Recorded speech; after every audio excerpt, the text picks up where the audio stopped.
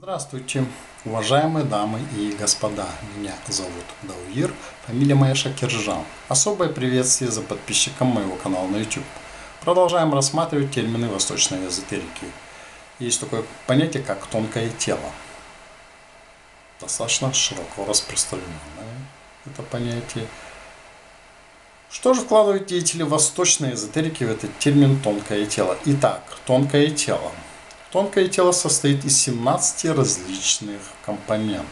К ним относятся первый – зрение, второй – слух, третий – обоняние, четвертый – вкус, пятое – осязание, шестой – язык, седьмой – руки, восьмой – ноги, девятый – органы выделения, э, десятый – органы воспроизведения. Среди семи остальных частей можно указать контроль дыхания, контроль пищеварения, разум и интеллект.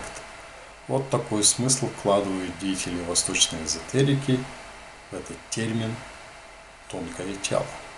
И нам, представителям западного направления в эзотерике, это, несомненно, интересно и полезно знать. На этом до свидания, до новых встреч.